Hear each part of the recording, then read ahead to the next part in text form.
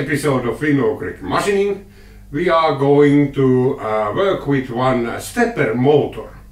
Uh, this will be used, uh, if I can modify it, uh, it will be used to drive the uh, rotating welding positioner. Uh, well, so let's go to my workbench there and see what, what this is now we are going to modify this. Uh, uh, well, it's a stepper motor, but it has a very strange uh, configuration. It has uh, two windings uh, which are connected uh, internally in series. series, and then three wires coming out. well, controllers that can do that kind of configuration are rare and in between and if you find one, they are really expensive. Therefore, I figured out that we can actually separate the windings inside here. Uh, well, you probably cannot see, but here are some very thin wires coming out from uh, somewhere there inside, and uh, two of them were connected together. Okay, then I measured it with a voltmeter, the resistances, and they are separate. Uh, so uh, the only place where they were connected is up here. So I can separate them. So then uh, the net result should be so that we are getting four wires out and uh, then we can use a conventional uh, driver for this one.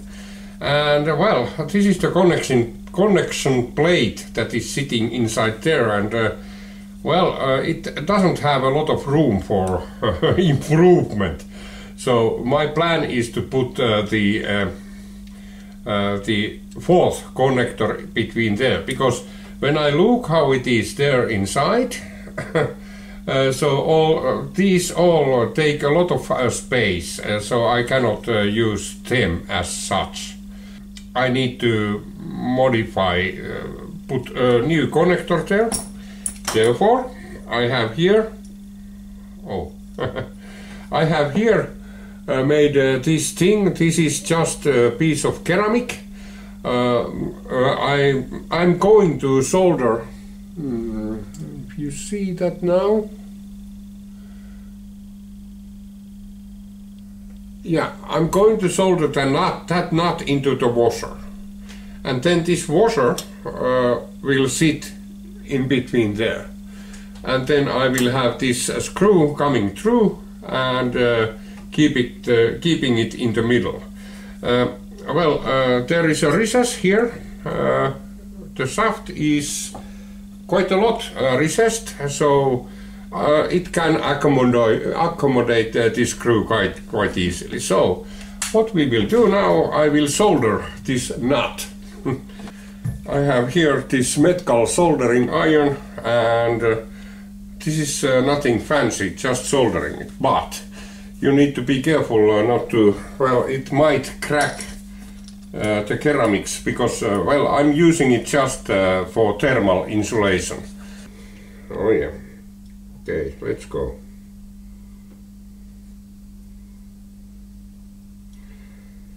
And as always you don't warm up uh, the you don't melt the solder into the into the uh, soldering iron. You melt the solder into the workpiece actually. And this works nicely. Really nicely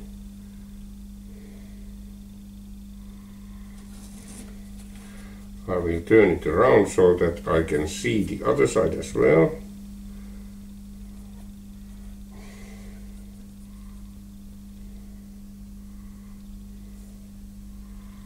Well, it doesn't want to wet the nut. Uh-huh. Well, I have... Uh, oh yeah, it does, but it does need a lot of temperature to do that. Now it does.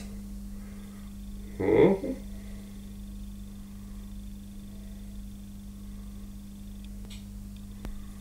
Mm-hmm.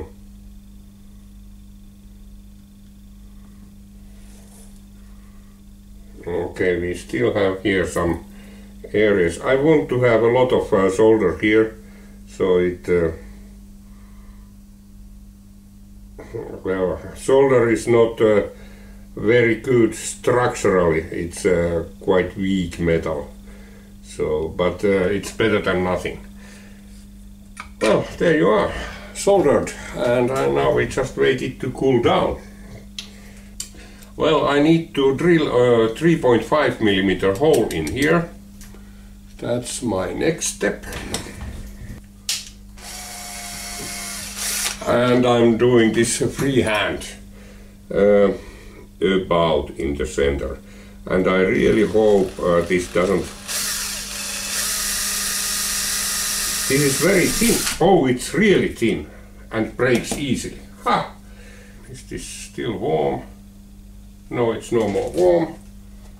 Quite nicely cooled down.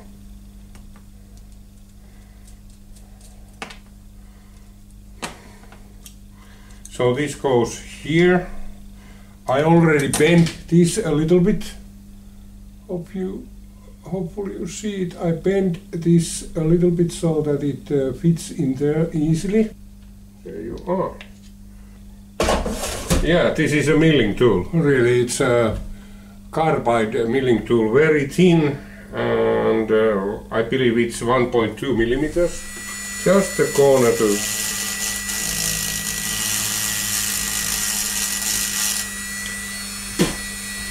some shop air to get it clean a little bit more.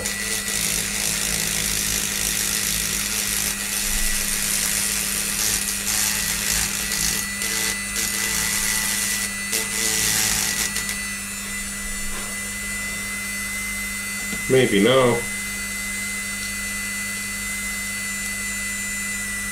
Yeah, now it's there. Okay, but now we have a problem here because it uh, broke the thing. Uh, well, huh. let's see. We could put a washer under there, maybe. So, a washer on the back side a thin one. I have a collection of these and uh, well, hmm. That seems to be a good one. No, uh, I need a better one. That one. Well, it's about the correct size.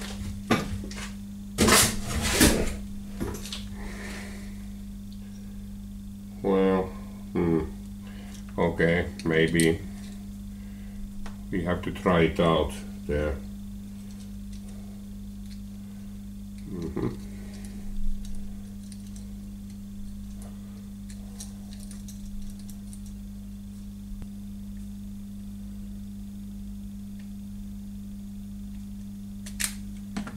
Don't want to tighten it uh, anymore. Well, it's steady enough. Well, maybe it works. Maybe. Okay. If it touches anything there, we can soon hear that one. Out. So, well, it's safe. Good. It doesn't touch. then we have to cut off uh, this uh, screw. Again, my dear Dremel. Hopefully it's still working.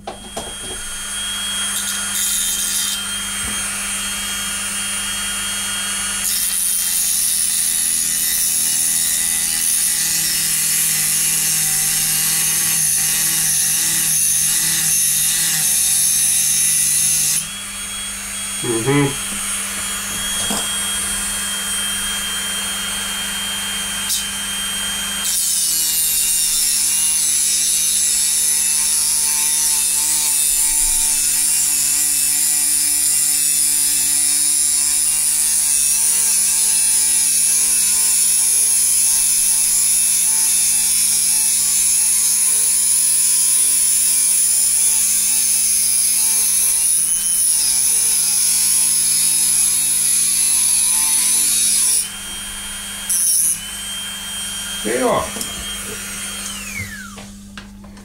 And uh, then I will start uh, doing the wires. Okay. Now what I have done here, I have uh, slipped over the, the, these are very, very, well, let me show you those wires. Oh, maybe here. Uh, I have uh, made uh, very thin, these are really thin and I made uh, insulation sleeve on that one, and then I have uh, some extensions on these. These will not be staying there, they are just to be able to manage uh, those uh, wires, because they are so short that when I'm trying to put this into place, well, it will cause me trouble if they are so short. So now what I will do, I will thread this in. Oh yeah, and uh, I made a two millimeter extra hole here into this. You will see soon.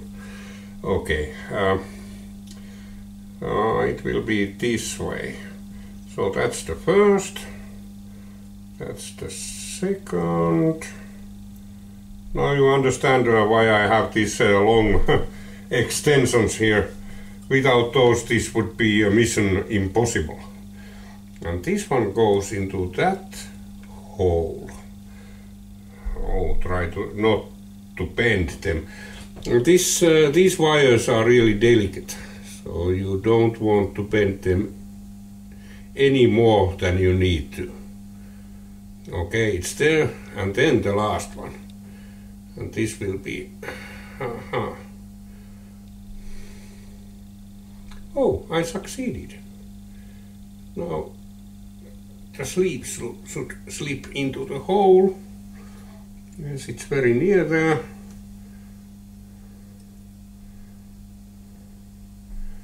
I'm getting it out. Yeah. Okay.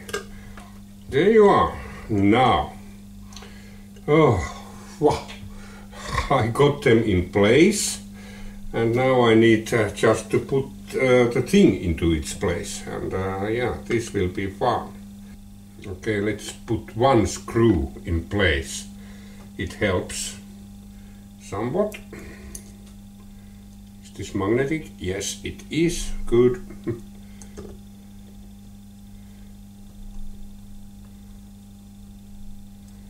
Well that should keep I can put two and another one too.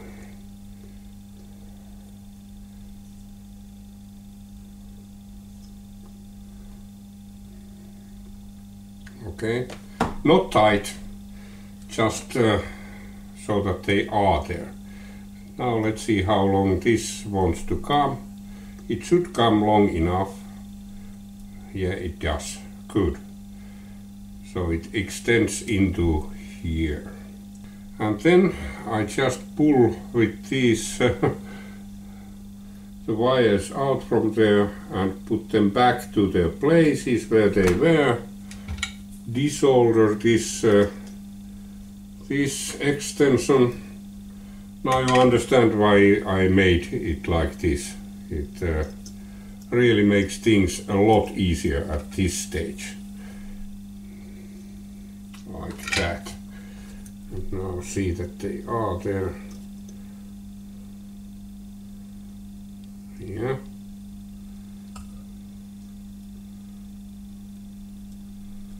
Hmm.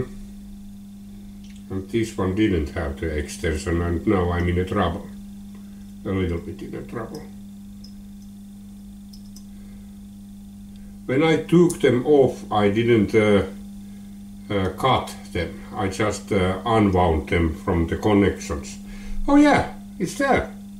Uh, this screw I have uh, put a speci special washer into this one. You see that star formed uh, washer. This one uh, makes a good contact with this and it's supposed to be the grounding wire now. well, let's see if I succeed in uh, making this a grounding wire or not. Well, it might succeed. Now I can tighten this thing into its place, not too tight because this is just a delicate plastic which can crack. So one should be really careful with these. Okay, and then we have a place for the grounding wire. There. Okay, that's it. Well, I would like to check that uh, we didn't break anything. And now you should hear, us, uh, well, let's be silent. You should hear that kind of sound when it makes a connection. There you are. That's making contact and it should not make contact here or here. Okay, and this one makes contact here, does, and not here or here. Okay, it's okay. So we have the windings in correct terminals or in terminals. I don't say whether they are correct or not. So now uh, we should uh, prepare this one. And we put this aside for a moment. Throw away these all these wires from here, we don't need them anymore. And then, well, how to peel a wire like this? Uh, well, uh, there are multiple methods. One is to start nipping around with pliers like this. That's one. Um, I prefer using utility knife in a way that I bend it like this. And when you bend it, uh, it uh, makes uh, a stress there. So I can actually make it, it should go there and it did and then you bend it uh, from a little bit different place and then you do this again.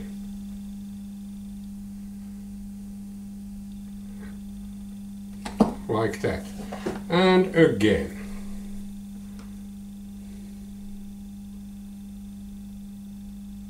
Like that. And again. The last time I believe. Like that it cuts really easy. Oh yeah, we have a one point that didn't cut. And you have to be extra careful. Now you, you can see it's uh, uh, like that. And then what you can do, you just pull it out. Like that. There you are. Then you get this cleanly out, throw it into a bin, and then we have four black wires and one, uh, well, this green yellow wire, this is the grounding wire. And these uh, four are now, what we have? No, we don't have five, we have four. But uh, there, there is one wire that's not a wire, it's in the center of everything. It's uh, this one which is just, uh, you nip it off. You, you don't want to have that this is uh, not a wire, it's something else. So now, now let's come back with this one and now uh, what I will do, I will uh, see about the wire lengths. So about this much there, mm -hmm. this much there, that much there, uh, okay. I believe uh, the correct uh, length is about uh, here.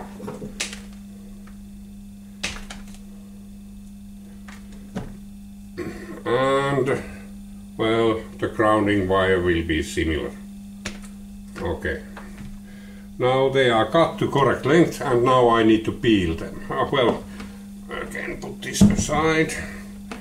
And uh, it's a very simple process, just do it like this. And well, you learn to do this uh, by practice. It's uh, really, and this is easy wire, it's really soft, so to say. Now we have uh, peeled them about, uh, well, 7 millimeters maybe. And now I will twist them a little bit like this.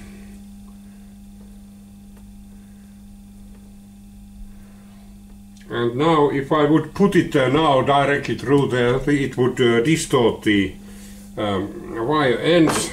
I wouldn't like that, so what I do, I will solder them. Yeah. It's and every. Hmm. Well, let's take a little bit thicker solder. Well, it's about 10 times thicker. Uh, this works, uh, well, it works, it really works. Uh, yeah.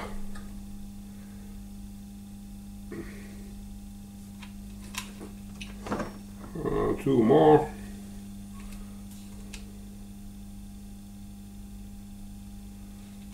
One more. Hello. There you are. Okay. Well, it's uh, like that. Now they are soldered and uh, they don't, uh, well, distort when I put them into there. So, now I just push them into there, like this.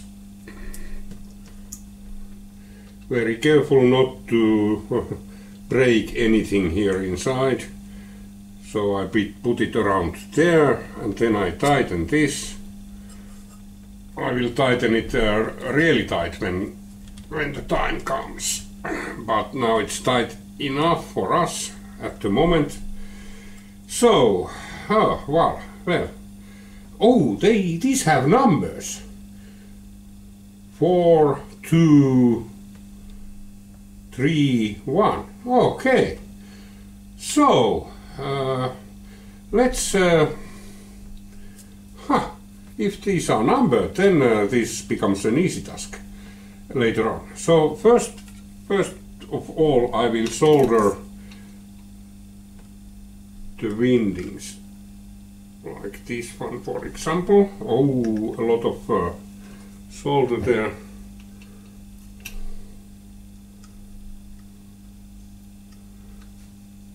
Yeah, oh, it's good, really good. Okay, and then let's take one. That's the one. and I would like to put it I don't, uh, there were screws there, but I don't like those because uh, they, uh, well, they, they can loosen. But if you solder the wires here, like this, and now it was number one. So if you solder the wire into there, it will never come out.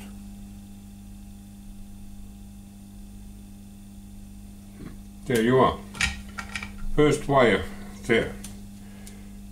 Well, so it was number one. So where was this? Because now I want to make it so that number one is connected to is uh, the same winding with number two. So that was number one.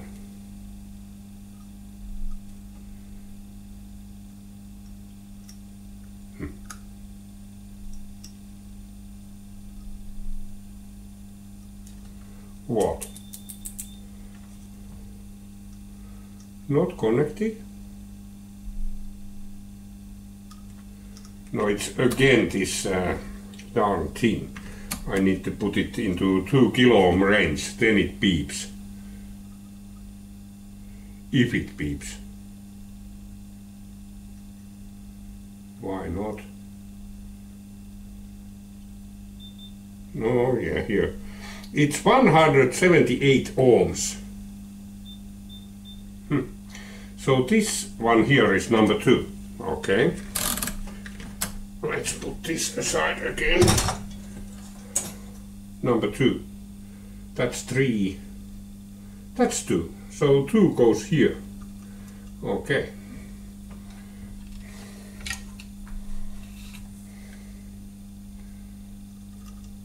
Oh.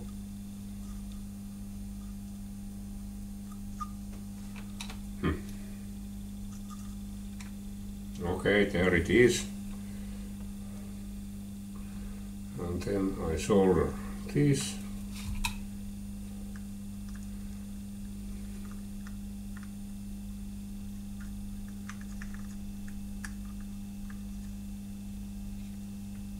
Like that, and this was two, yes it is two. Just put it there. Hmm. Okay. Number two. Okay. One and two. Okay, so I apply heat to the outer rim here.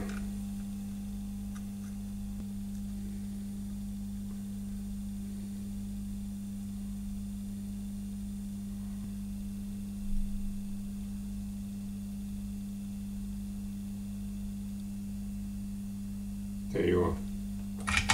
Wow. Huh. Okay. No, this one should be really tight so that you don't pull it out accidentally.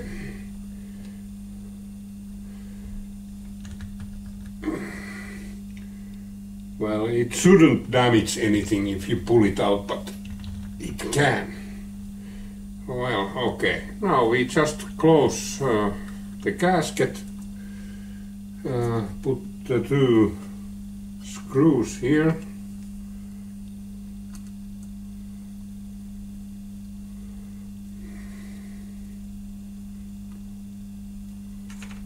Like that. And that. Oh!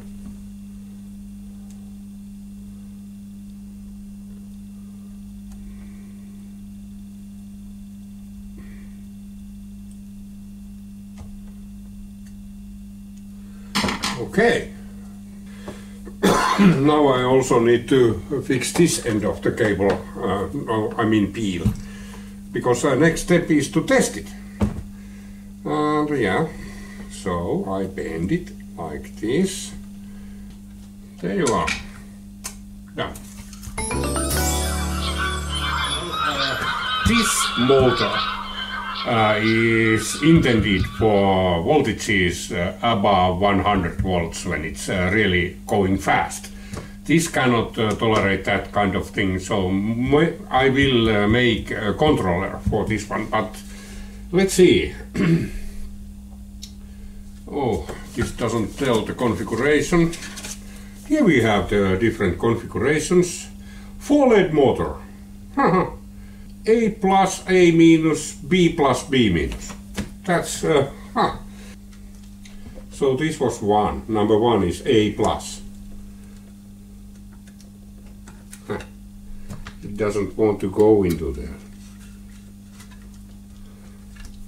Oh yeah, it's just, now it goes. A. Two is A minus.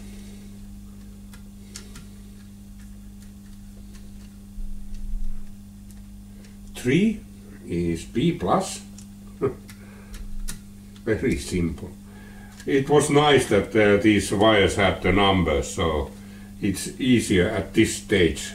Otherwise I would have been uh, measuring the resistances, etc. So, there you are. Connected. Uh, well, uh, you have a ground wire here as well. Hmm. Nice.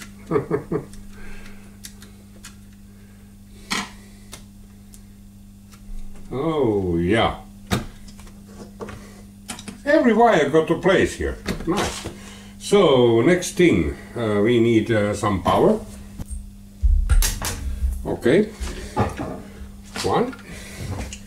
And we need a plus, which goes into there.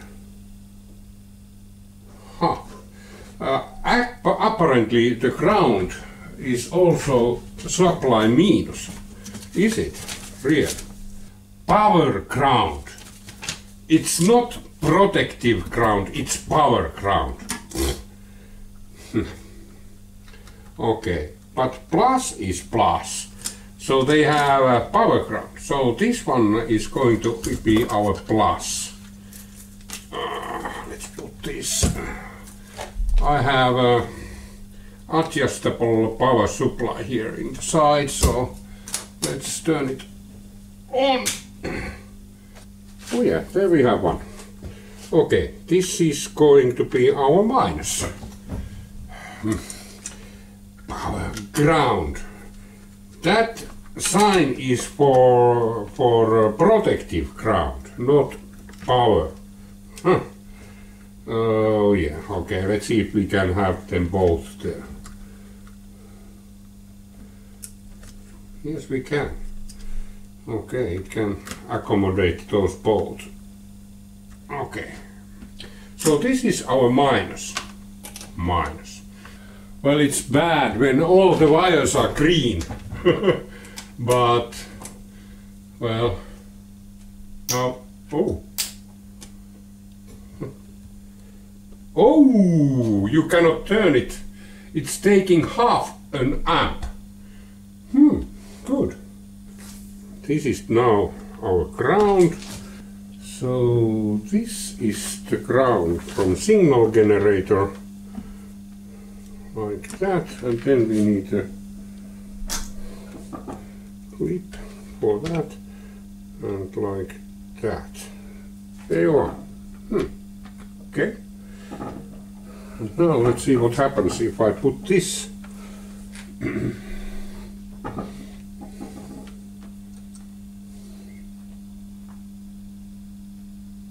Nothing.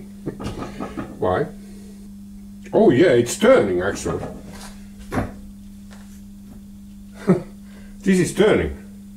And it's already like impossible to stop. Let's put a little bit more.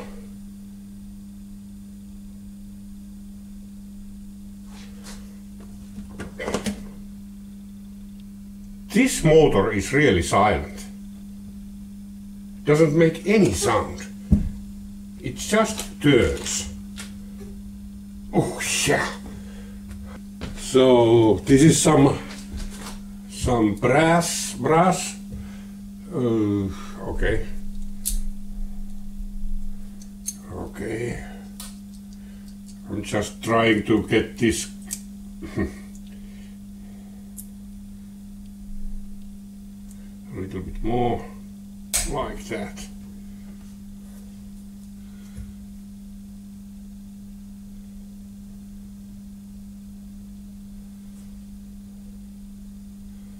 And it doesn't make a sound. That's uh, spooky. Well, you can withstand it, but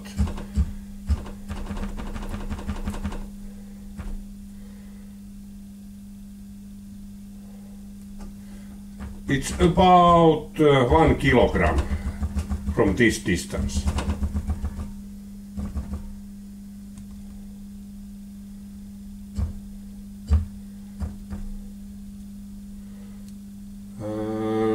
The current, well, uh, this should be, this is rated to 0.4 amps and at the moment it's uh, 200 milliamps, so 0.2 so half the torque available. So at this distance, which is about 10, cent 10 centimeters, 2 kilograms here, okay, it would be nice. I'm pretty sure this one will uh, suffice. So we have a motor for our application.